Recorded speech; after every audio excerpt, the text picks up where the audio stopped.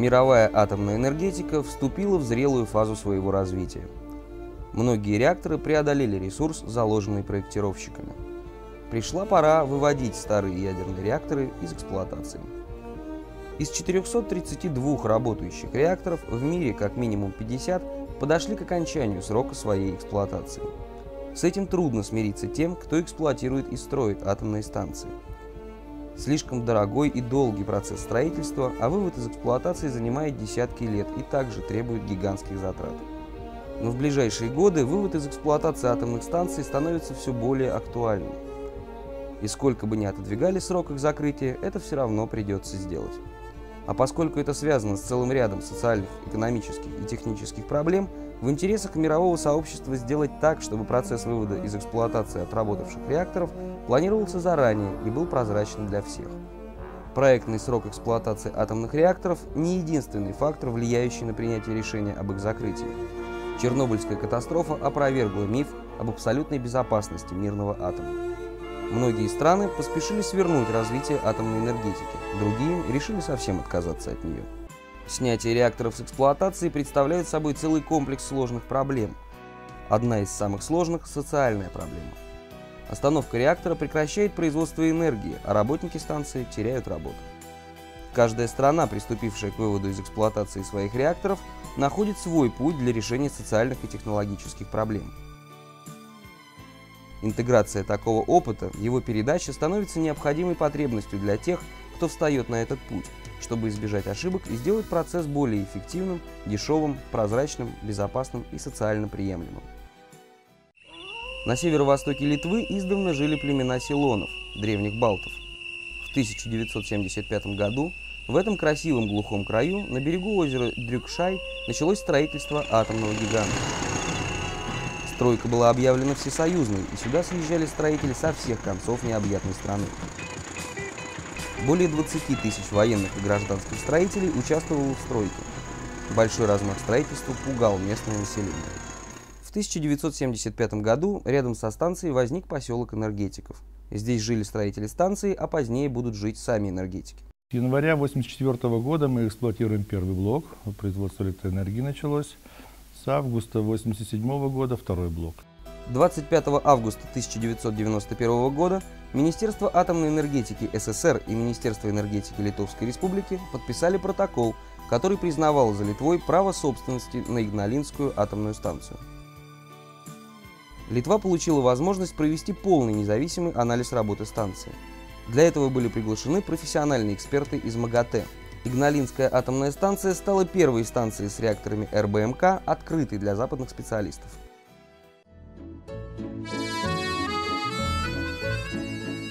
Вместе со станцией менялся и город-спутник. Сегодня он носит название Висагинос, взяв имя у озера, рядом с которым он расположен. Гербом города стал серебряный журавль, символ любви, мудрости и осторожности. Много детей и молодых мам с колясками – привычная картина будничной жизни города. Сегодня это многонациональный город, статус которого изменился.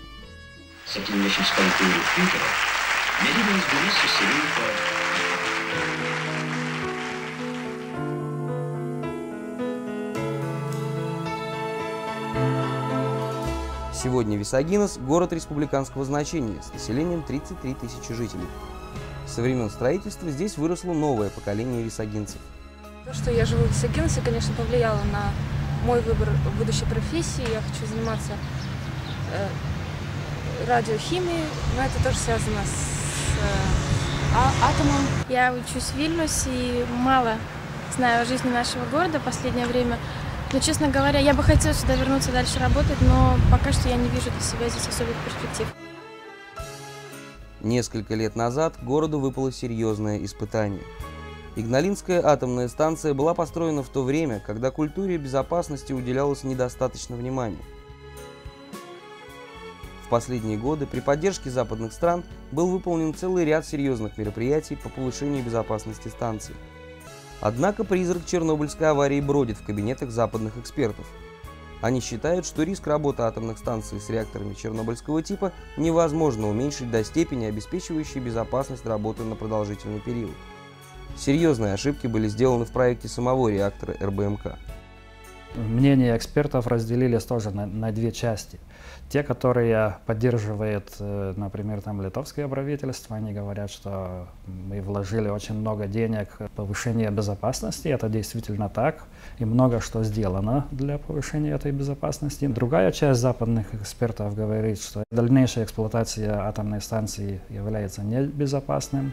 Закрытие станции стало условием вступления Литвы в Европейский Союз. Мы, конечно, поддержали э, идею вступления в Евросоюз, и э, тем же самым мы поддержали и, э, э, ну, не требования, но идею закрытия Игналинской АЭС, потому что она все-таки не соответствует всем э, требованиям э, безопасности. Сейм Литовской Республики принял закон о снятии с эксплуатации первого блока Игналинской атомной электростанции. В феврале 2001 года была принята программа снятия с эксплуатации первого блока. Эта программа определяет мероприятия, которые необходимо было выполнить для закрытия первого энергоблока. Во многих странах с началом эксплуатации атомных станций отчисляются средства в фонд снятия станций с эксплуатации. Деньги в этих фондах накапливаются в течение всего периода работы станции. В Литве такой фонд был создан только в 1993 году. Прежде чем браться за такой проект, мы э, посмотрели имеющийся к тому моменту опыт – как это сделано в других странах э, Европы, это Германия, Франция, Великобритания, Швеция, опыт Соединенных Штатов Америки посмотрели. И что мы увидели, все э, старались, как говорится, учесть. Каждый год Министерство хозяйства Литвы рассматривает и утверждает план реализации программы снятия с эксплуатации первого блока Игналинской атомной станции. Сам процесс закрытия, это без учета стоимости могильников для радиоактивных веществ, э, может потребовать около 1 миллиарда евро, но, конечно, жизнь идет, и эти цифры коррегируются. Евросоюз покрывает 90% средств, а Литва 10%.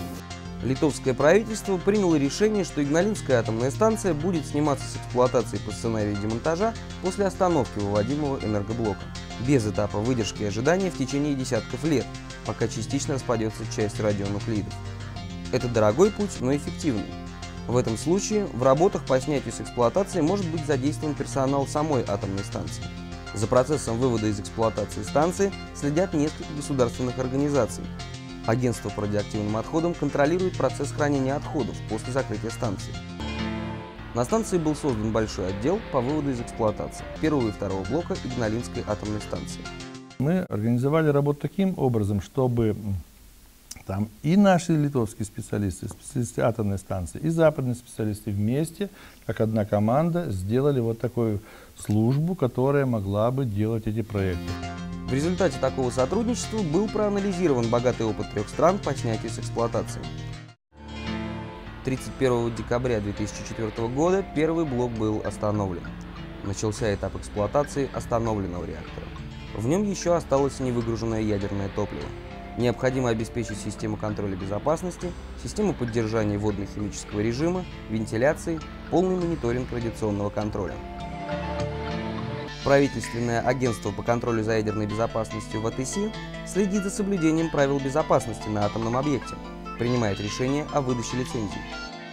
Абсолютно неверно, ошибочно думать, что остановил блок, все проблемы безопасности сняты. Это очень опасно, и это мы стараемся везде подчеркивать. Мы требуем представления от, от, с самого начала программ, планов, потом технического обоснования безопасности, анализов безопасности э, для любого изменения в ходе э, вывода из эксплуатации. За всю историю Игналинской атомной станции отсюда не вывозилось ни отработанное ядерное топливо, ни другие радиоактивные материалы. Все хранится в действующем хранилище. Оно было построено на период эксплуатации станции. Хранение отработавшего ядерного топлива является важной частью безопасности атомной станции. После распада Советского Союза стало ясно, что атомная электростанция сама будет хранить свое отработавшее ядерное топливо. Проекта сухого хранилища для отработавшего ядерного топлива с реактора РБМК не было. Игналинская атомная станция стала первой, где был осуществлен проект хранения отработавшего ядерного топлива в специальных контейнерах. Для того, чтобы выгрузить в сухое хранилище все отработавшее ядерное топливо, скопившееся за период эксплуатации Игналинской станции, потребуется около 350 контейнеров. Имеющихся в настоящее время контейнеров и свободных мест на площадке сухого хранилища недостаточно. На процесс снятия с эксплуатации надо создавать, строить новые.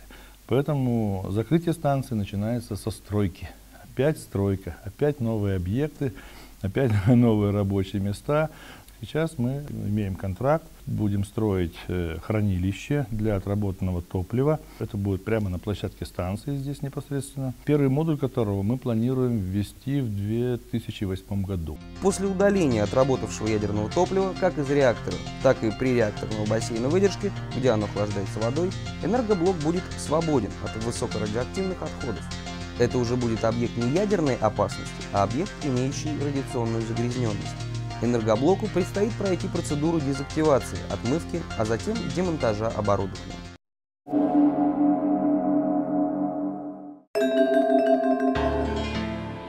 В 2009 году будет установлен второй блок, и станция перестанет производить электроэнергию. Уже после закрытия первого блока со станции были уволены около 200 человек. Социальный вопрос вот в процессе снятия эксплуатации, он ну, после финансового оказался, наверное, сложнее, чем решение технических вопросов. Действительно, это сокращение персонала. На Игналинской станции эта проблема осложнена еще и тем, что город и станция взаимосвязаны. В Висагиносе проживает почти 100% работников Игналинской атомной станции. Мы э, были инициаторами разработать и принять в Литве специальный закон о социальных гарантиях для персонала, увольняемого в связи с закрытием станции. Этот закон уже дает определенные гарантии и показывает конкретно, на что может рассчитывать человек, теряющий работу. Мы ездили в Англию, смотрели, как это делается в Англии. Ездили в Германию на Грейсвальдскую станцию закрытую, смотрели, как там делается. Еще до принятия закона администрация подписала соглашение с профсоюзами станций, в котором описаны этапы взаимодействия. Сообща была разработана стратегия социальной поддержки персонала на период закрытия Игналинской атомной станции. Сегодня юношам и девушкам Висагинуса, детям тех, кто строил станцию, кто ее сегодня эксплуатирует, предстоит определить себя в новых условиях, в новой стране. Без станции Висагинос как бы и не существует. Все на нем стоит. Все, которые работают, ну, большая часть, связаны с, с атомом. У меня папа работает в монтаж системы атомной энергетики. Это ремонт станции, какой-нибудь ППР, у них есть работа. Нет ППР, нет работы. А когда будут станцию остановят, я думаю, что они будут не нужны. Их будущее я абсолютно не вижу. До вывода из эксплуатации правительством Литвы был проведен серьезный анализ социальной ситуации в Висагиносе и прогноз ситуации после закрытия станции. Сначала они даже думали о двух сценариях, что станет с Висагиносом. Один из них имел название «черный сценарий», другой «белый». Черный сценарий это означало, что после закрытия атомной станции города Висагиноса э, как бы вообще не остается как такого города. Но э, они э, там делали какие-то подсчеты, и выводы этих подсчетов были такие, что этот черный сценарий даже будет стоить больше, чем белый. Белый значит, что Висагинос будет развиваться как город, но э, без атомной станции. Я не вижу таких больших, допустим, опасностей для того, что этот город должен исчезнуть. А, в первую очередь мы должны взглянуть на сам процесс закрытия. Этот процесс потребуется действительно очень много квалифицированной рабочей силы и специалистов, включая тех специалистов, которые знают специфику станции. Есть вот такой хороший пример Крымская атомная станция, которую тоже много чего обещали, много чего там говорили, в итоге закрыли, сейчас проезжаешь мимо этой станции, такие просто развалины, и города, которые, вот, допустим, у меня бабушка там живет в Щелкино, а город просто как бы, ну как, мертвый. И вот я смотрю на Висагинос, и я боюсь, как бы здесь то же самое не стало. А не будет станции, где такая заработная плата, где носят только найти рабочих мест? Мы э, приняли решение о реорганизации станций, то есть э, начали э, на базе э, подразделений станций создавать независимые предприятия статус сначала будет государственный, затем акционерный, и уходить с этими предприятиями пока на контрактные отношения. В результате реструктуризации возникло пять новых предприятий, которые сегодня работают самостоятельно, уменьшив численность работников станции на тысячу человек. Станции принадлежал еще и город. Так мы с этой задачей справились в течение трех лет, когда отделили и детские садики, и школы, и соцкульбыт весь какой только был, и жилищное домовое хозяйство и прочее. Это все теперь все принадлежит самоуправлению, муниципалитету. Тоже никакие предприятия не закрылись, все продолжают действовать. Атомная станция в рамках вывода из эксплуатации строит новые объекты.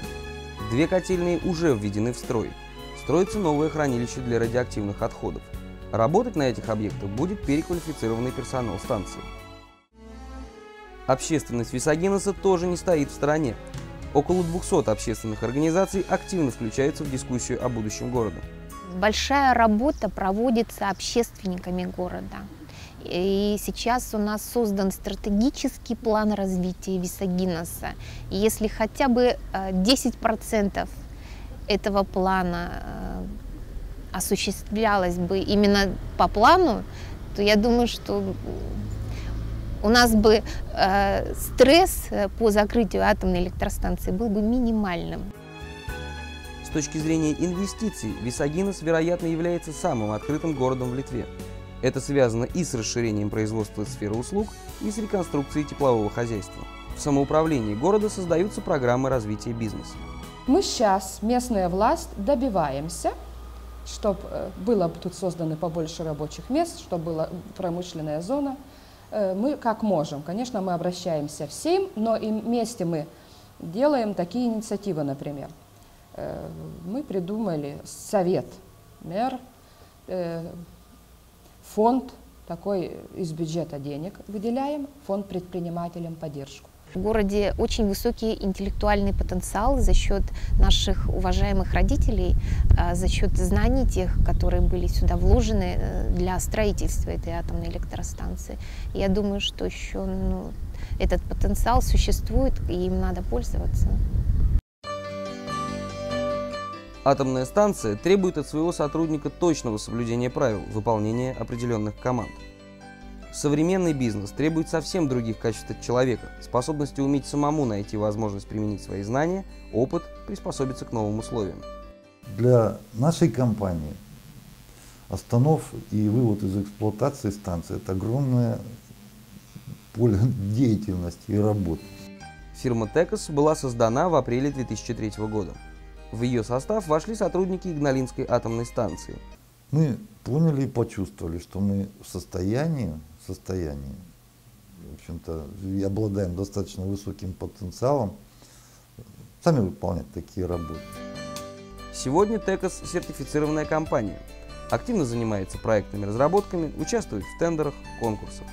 Наши специалисты все в той или иной степени работали на Игналинской станции, хорошо ее знают, их там хорошо знают.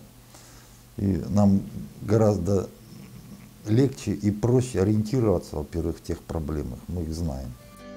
Самоуправление Висагинеса заинтересовано в таких организациях, где могут найти себе работу высококвалифицированные специалисты. У нас в планах вот база, индустриальная база, где промышленная зона, добиться, чтобы все-таки была свободная экономическая зона. По-европейски называется парки э, индустрии. В зоне Висагинеса планируется создание технопарка в районе бывшей базы стройиндустрии. В этом технопарке планируется э, открыть производство, связанное с высоко, производством высокотехнологичного оборудования, там, компьютерными технологиями. Я надеюсь, что и моей компании там место найдет. Недавно в Висагиносе реализован самый удачный инвестиционный проект – бизнес-инкубатор. Он служит удобным буфером, позволяя уменьшить затраты тем, кто начинает свой бизнес. Это действительно очень удобно, очень выгодно. И я их услугами пользовался и пользуюсь сейчас. Ко времени остановки второго реактора большинство тех, кто начинал эксплуатировать станцию, станут пенсионерами. Чтобы снять напряжение и помочь им оставаться социально активными, в Висагиносе действует филиал Вильнюсского университета третьего возраста, цель которого – дать дополнительное образование и новые навыки пожилым людям. Это большая часть нашего населения города. Они имеют право голосования, они активны, они бывшие строители, инженеры, очень часто с высшим образованием и даже не один диплом. Люди образованные, активные, они хотят жить активно в этом сообществе. В университете действует 14 факультетов. Изучается литовский язык, проходят занятия гимнастикой, спортивными играми, много внимания уделяется преподаванию истории, краеведению, работают коллективы художественной самодеятельности. Этот город вырос по чужой воле, но сегодня в нем живут люди, способные решать его судьбу сами. Они самостоятельны, активны, полны надежд и уверенности. Теперь они сами будут решать, где им жить, где работать, чем заниматься и где получать образование. В Сагиносе, конечно, есть перспективы. Много перспектив, много всего можно делать. У меня специальность телекоммуникации, это связи, телевидение, радио, интернет. Я думаю, что я бы нашла здесь свое рабочее место. В любом интернет-фирме телевидения как бы я бы нашла, но я бы хотела сюда вернуться. Мне нравится этот город, он маленький, он красивый. Сейчас я работаю с молодежью, и она мне дарит этот оптимизм, которым я сейчас сама заражена. И я хочу, чтобы эта молодежь сюда возвращалась. На предстоящие десятилетия будет обеспечен приток финансовых средств сюда. Вот прямо вот сюда, вот, в этот район и в этот регион, прямо на Игналинскую станцию. На решение конкретных вещей и задач финансирование вроде как обеспечено и гарантировано. А если будут деньги, значит будет жизнь. В 2004 году директор Игналинской атомной станции подписал соглашение с техническим директором Росэнергоатома о взаимном сотрудничестве и обмене информацией по снятию с эксплуатации атомных реакторов. Мы, наверное, идем немножко впереди. Во-первых, потому что мы вот сейчас в Европе уже, и сейчас осваиваем подходы, методологии, которые российским станциям, ну тем же РБМК, это касается и Ленинградской станции, и Курской, и Смоленской, ну все это дело предстоит. Я считаю, не надо изобретать велосипеды, когда они уже изобретены. Все мы раньше, то есть Игналинская станция, российские станции, украинские станции, все мы были единым комплексом раньше. Везде сидят люди знакомые друг с другом. Нас знают там, мы знаем там всех. Если сейчас мы перевариваем зарубежный опыт и адаптируем его для себя, для своих нужд, для своей конкретной технологии, то дальше этот опыт уже в виде совершенно конкретных решений. Его можно тиражировать просто. С минимальной адаптацией использовать на той же ЛЭС. Почему? Потому что совершенно родственный стан. Россия очень перспективный рынок потом будет в этом плане после того, как будет приобретен наш уже собственный опыт снятия и вывода из эксплуатации блоков Игналинской станции. Как бы ни относились жители Висагинеса к закрытию станции, они понимают, что этот процесс также необходим и требует такой же квалификации и ответственности, как и эксплуатация станции. Если мы хотим, чтобы общественность э, и в дальнейшем признавала атомную энергетику, то мы должны ей показать, что мы умеем не только строить и безопасно эксплуатировать атомные станции, но мы умеем их и безопасно закрывать. Никто не будет летать на самолете, если он умеет только взлетать, но не умеет садиться. Простой принцип. Здравый смысл. Я начинала э, еще, когда еще было западно-строительное управление. Работала на УПТК, работала кладовщиком, месили мы здесь грязь, все. А сейчас видите, какой красивый город. Имею и внуков, имею, и внучек. И работаю в больнице. Работаю в реанимации. Сначала военный госпиталь был, потом перевели в больницу работаю. Сейчас в отпуске. Бегу на репетиции, ну, пою. Здорово. Пою. Вот. Все нормально будет, как вы думаете, городе. В этом. И я думаю, что будет нормально. Я верю в это.